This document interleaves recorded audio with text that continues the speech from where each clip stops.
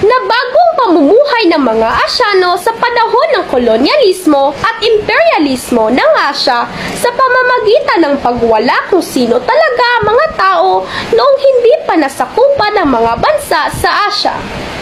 Maraming bansa sa Asya ang nabago ang relihiyon dahil sa pananakop ang pagkuha ng mga ari-arian dito dahil ang mga bansa sa Asya ay kilala bilang mga bansa na magaganda ang mga mineral, gamit, spices, at merong malaking halaga ng langis kaya gusto kunin ng mga kolonisador. Isa pa ay ang halimbawa ng imperialismong naganap sa pag-iba sa mga batas at kinuha rin nila ang kalayaan ng mga bansa dito sa Asya. Katulad ng ipinakilala ng Spaniards, ang Roman Katoliko sa atin noon, wala ang relihiyon na ito sa bansa natin kung hindi man pinakilala ito sa mga Pilipino.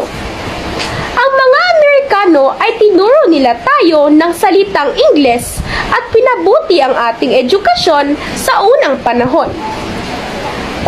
Noong tumatag ang Briton ng kontrol sa ekonomiya at ang lipunan ng India noong sinakop niya ito.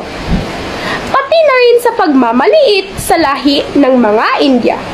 Ang kolonyalismo at imperialismo ay positibo o negatibo ang kinalabasan Tandaan na hindi man ito nangyari, lahat magbabago sino man tayo ngayon at dapat natin tandaan na lahat ay may dahilan. Salamat po.